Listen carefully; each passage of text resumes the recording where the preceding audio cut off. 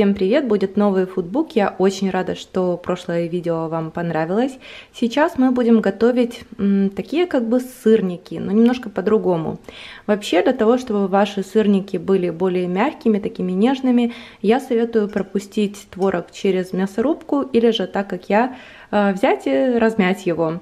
Э, у меня здесь 250 грамм творога, я все напишу на экране, но нам понадобятся совершенно простые ингредиенты, такие как молоко, мука, яйца, разрыхлитель, у меня здесь есть ванильный сахар. В общем, если сейчас о чем-то забыла, то на экране вы точно это видите. Добавляем яйца и сахар, у меня не только ванильные, в перемешку с обычным, и еще раз все перемешиваем. Вливаем молоко, 2 столовые ложки растительного масла и венчиком все аккуратно перемешиваем. В отдельной тарелке у меня находится мука и разрыхлитель, это тоже все смешиваем. И дальше будем аккуратно соединять содержимое двух мисок, а, так, чтобы получилась консистенция густой сметаны. Тесто уже готово, долго его не перемешивайте, раз-два и достаточно.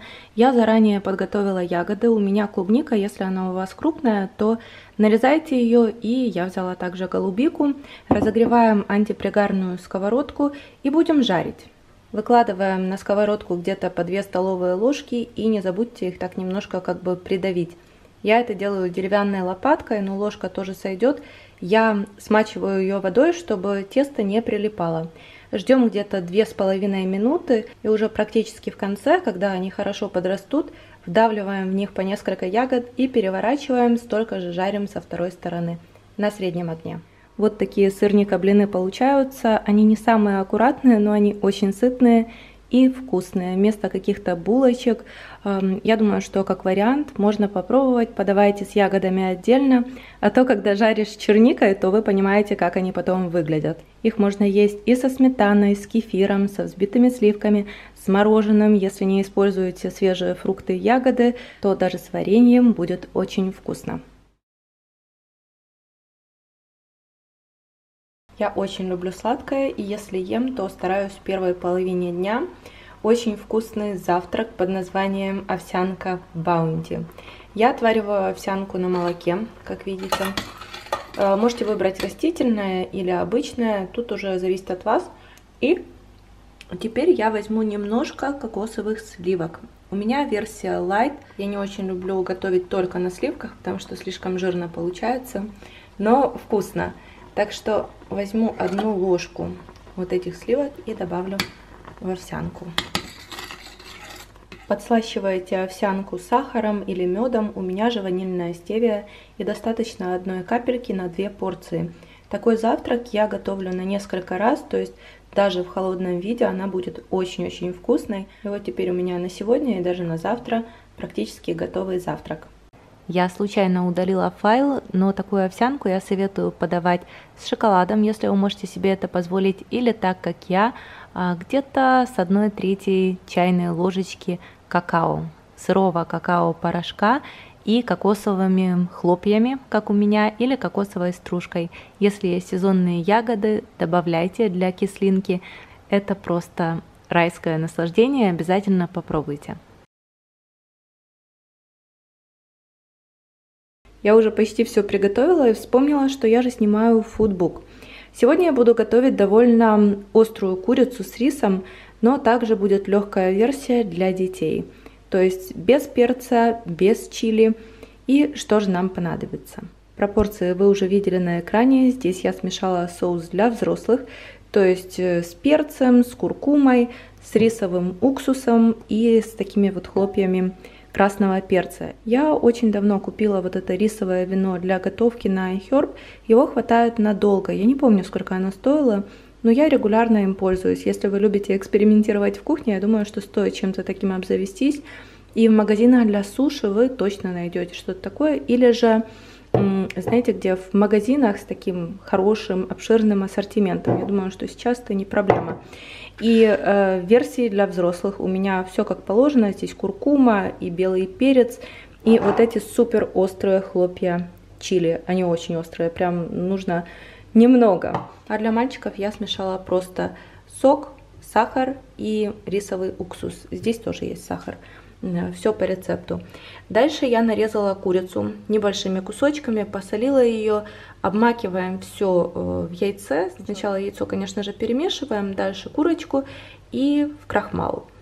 Э, теперь, теперь нам понадобится э, имбирь. Я уже начистила его, теперь нужно натереть. я беру два зубчика чеснока. Вы знаете, это настолько быстро готовится, рис уже варится. И сейчас буквально несколько минут, и обед будет готов. Сначала слегка поджариваем чеснок с имбирем, но смотрите, чтобы это не сгорело. И выкладываем курицу. Вы бы видели, как сильно я себе обтерла руку. А, Оля терла имбирь. Если у вас тефлоновая сковородка, то жарим курицу на большом огне 2 минуты. Ну как, не так, чтобы она сразу у вас сгорала. Смотрите, минутку пожарили, перемешали еще минуту. У меня сковородки из Икеа, и на них, честно говоря, все как-то не жарится, а больше тушится. И все происходит чуть дольше. Так что у меня это займет минут 5. Ну, я не люблю, когда курица зажарена до золотистого цвета. Здесь я уже подготовила сковородку для того, чтобы часть отложить малым. И соусом будем разбираться. Выливаем соус, доводим до кипения и еще тушим где-то минутки две. У меня было меньше крахмала, чем нужно. Если у вас все по рецепту, то кусочки будут такие как бы, как это назвать? Это не панировочная штука не желе, но очень прикольная консистенция. Просто у меня, как назло, закончился крахмал раз в 5 лет.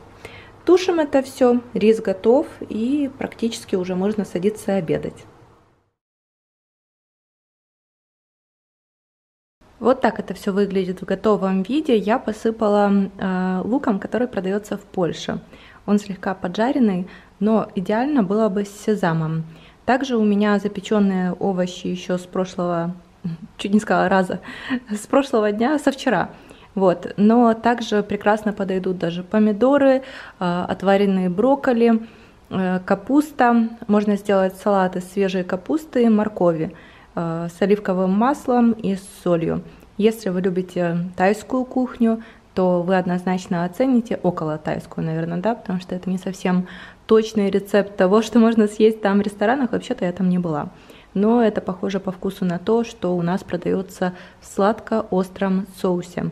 А, конечно, это не совсем блюдо для детей, именно для очень маленьких, но наши мальчики любят и имбирь остренький такой, и я им позволяю что-то такое есть раз в месяц. Приятного мне аппетита, я очень-очень голодная, и это нереально вкусно. Сегодня у меня очень простой обед и быстрый в приготовлении, ничего особенного, но я надеюсь, что я все-таки вдохновлю вас на какие-то эксперименты в кухне. А, что у меня здесь на тарелке? Отваренная паста, Видите, она разноцветная, но можете взять любую. Главное, готовьте ее аль денте. В этом есть кое-что особенное, действительно. У меня есть такая соль с трюфелями. Если у вас ее нет, тоже ничего страшного, но если где-то увидите, очень советую купить. Особенно если вы любите что-то такое оригинальное в кухне. Очень ароматная соль, я привезла ее из Италии. Можно просто отварить пасту, как указано на упаковке, уже с солью. Дальше я взяла листья шпината свежего, нарезала помидоры, полила все это вот таким бальзамическим уксусом. Он, ну не именно этого бренда, но в принципе продается много где. Это именно такой сладенький. Полила мой импровизированный салат небольшим количеством, потому что он довольно интенсивный по вкусу, кисло-сладкий, можно сказать. И посыпала все пармезаном. Просто, вкусно и довольно легко.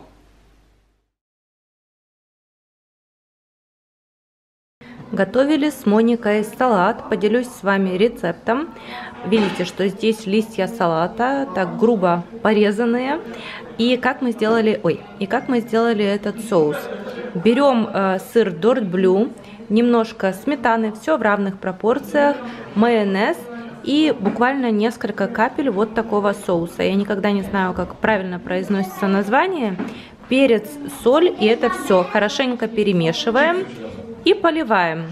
Бекон поджариваем на сухой сковородке.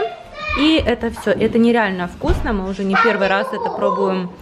И Моника говорит, что она подсмотрела этот рецепт в Америке и что это один из ее самых любимых салатов. А сейчас очень быстрый и вкусный рецепт смузи. У меня дома была голубика, но вы без проблем можете взять чернику.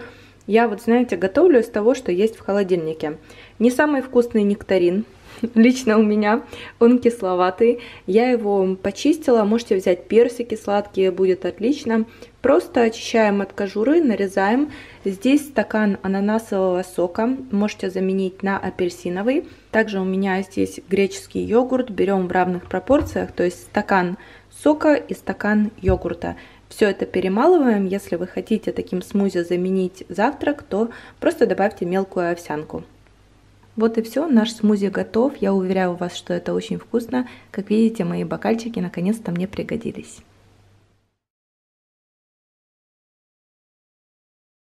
9 часов вечера я нашла очень интересный рецепт такого пирога из цукини. У меня все было дома, поэтому что я делаю? готовлю.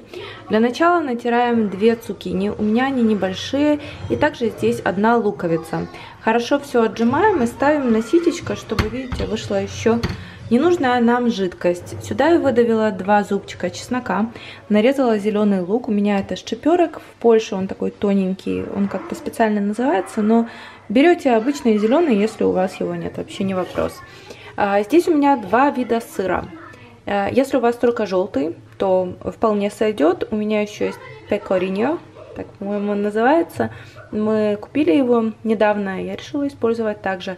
Если нет э, вот этого пекориньо у вас, то берете пармезан или просто э, оставляете с желтым сыром.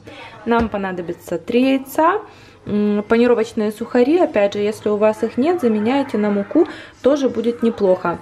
А, оливковое масло и перец, вот это, по-моему, мускатный орех, я вам все напишу. Значит, э, все готово, все натерла, нарезала, теперь только смешиваем. Я нагрела духовку до 190 градусов и буду запекать, потом скажу сколько. Выстилаем форму бумагой для запекания и выкладываем наше тесто. Вот так и запекаем полчаса. Ням-ням. Э, в конечном итоге запекала где-то 50 минут, но все время поглядывала, чтобы он не сгорел. И вот теперь у меня завтрак готов. Можно есть черным хлебом, можно пожарить яйцо. Как придумаете, кто-то с кефиром, скорее всего, захочет это употреблять. В общем, я надеюсь, что вам со мной было интересно. А, всем пока-пока, приятного вам аппетита и до встречи в новых видео.